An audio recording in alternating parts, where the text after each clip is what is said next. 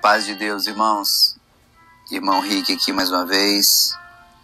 E hoje eu quero meditar com vocês um pouco mais na palavra de Deus, falar das coisas do, do alto. E hoje eu quero falar sobre o assunto o extremismo da igreja e de seus líderes nos primeiros séculos. Pode parecer que não, irmãos, mas depois de quase dois mil anos de história, muitas coisas mudaram. E hoje nós temos um cristianismo que se difere muito daquilo que nós podemos ver nas Escrituras. Existem alguns valores bíblicos que são considerados extremos. Versículos como sede perfeito, como vosso Pai Celestial é perfeito, Mateus 5,48. Ou sede santos, porque eu sou santo, 1 Pedro 1,16. Ou ainda, e qualquer que nele tenha essa esperança, purifica-se a si mesmo, como também ele é puro. 1 João 3,3. Esses versículos nos revelam alguns valores que são ou deveriam ser a base da vida cristã. Porém, nessa geração onde muitas igrejas usam estratégias do mundo para atrair o mundo, ser perfeito, santo e puro, pode no mínimo soar como fanatismo ou radicalismo. A igreja dos primeiros séculos tinha um modelo a seguir. Esse modelo se baseava na doutrina dos apóstolos, Atos 2:42. As palavras de João e Pedro acima seguem na mesma linha das palavras do Senhor e têm uma coisa em comum. São todas palavras que ao homem natural soam extremas. O irmão Paulo também deixou muitas contribuições nesse sentido. Por exemplo, quando ele afirma: viver é Cristo e morrer é lucro, em Filipenses 1:21, soa muito radical para aqueles que amam e se dedicam ao mundo, esperando uma vida melhor. A igreja sendo guiada por esses irmãos também era extrema Imagina vender os seus bens para suprir a necessidade dos irmãos. Atos 2:45. Ou imagina expor se expor à morte para salvar um irmão. Romanos 16:3.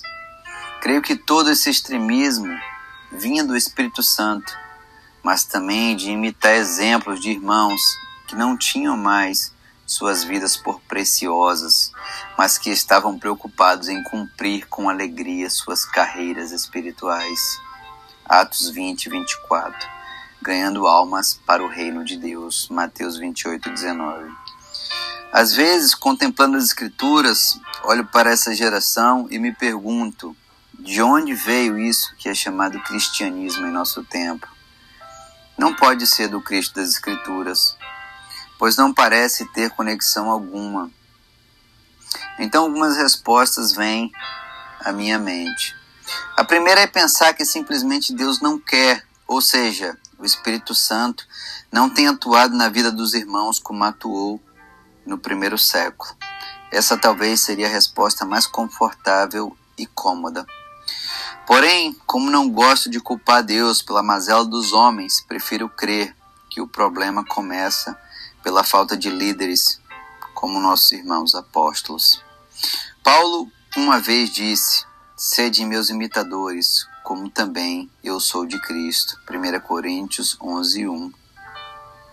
Uma frase que raramente pode ser dita por qualquer líder neste tempo, já que se formos imitar alguns desses líderes, a primeira coisa que devemos fazer é fabricar ou comprar um púlpito tanto Paulo como Cristo não eram homens simplesmente doutrinadores ou teóricos.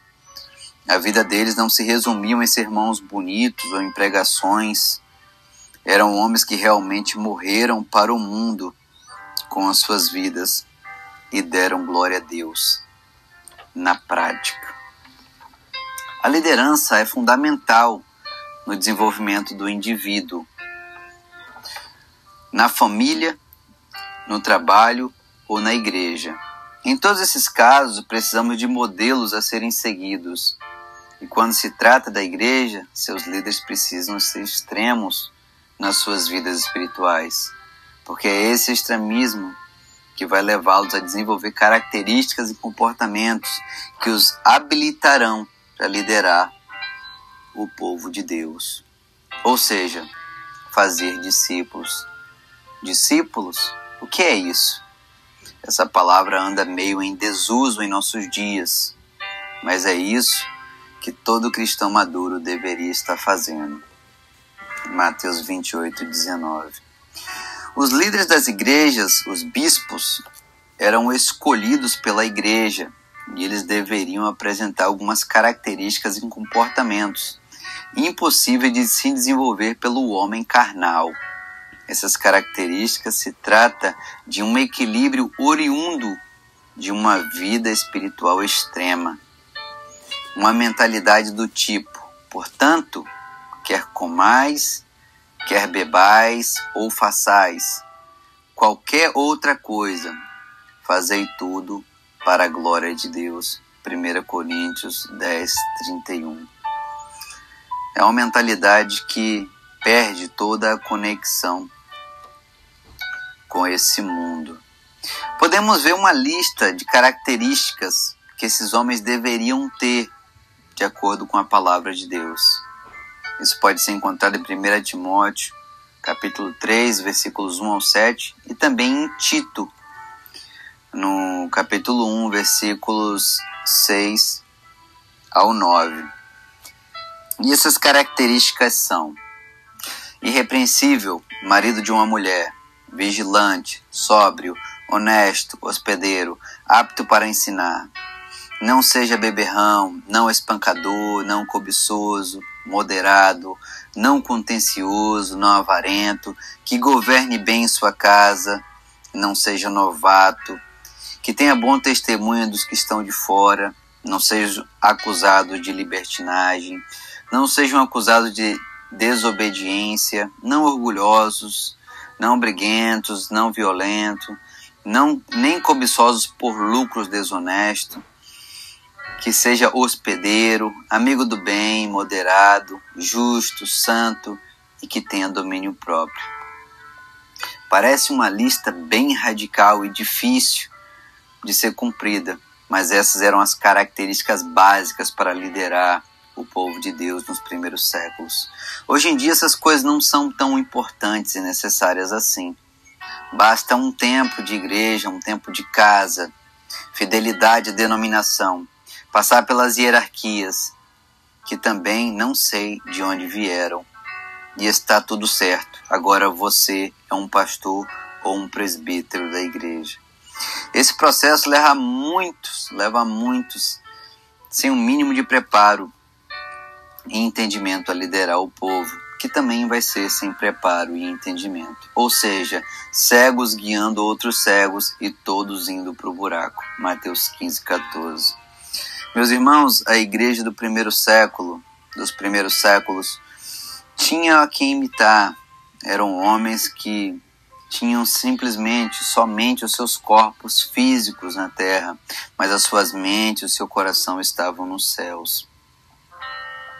E aqueles que vinham após eles, os santos, os discípulos, a igreja de Deus, acabavam no mesmo extremismo, ao ponto de os judeus que os perseguiam dizerem: estes homens que têm causado alvoroço por todo o mundo agora chegaram aqui.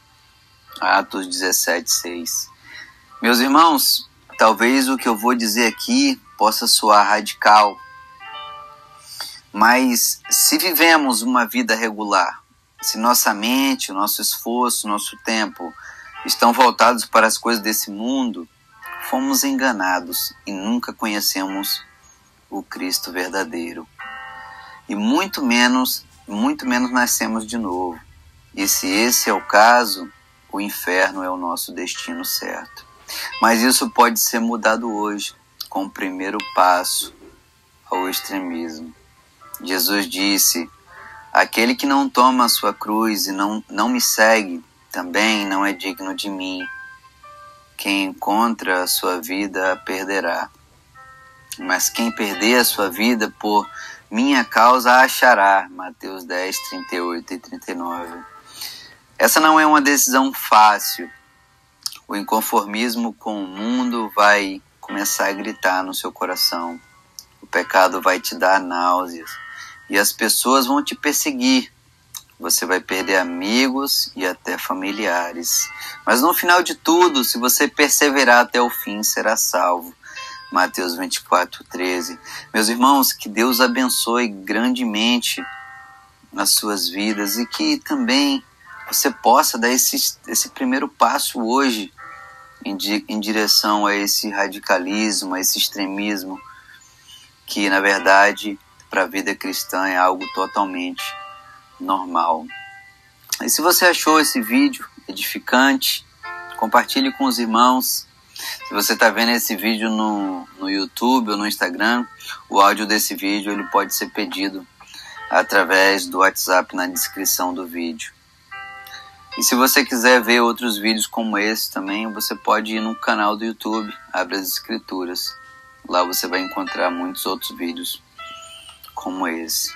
Um grande abraço, meus irmãos. Deus abençoe a todos e preparem-se, porque Jesus virá.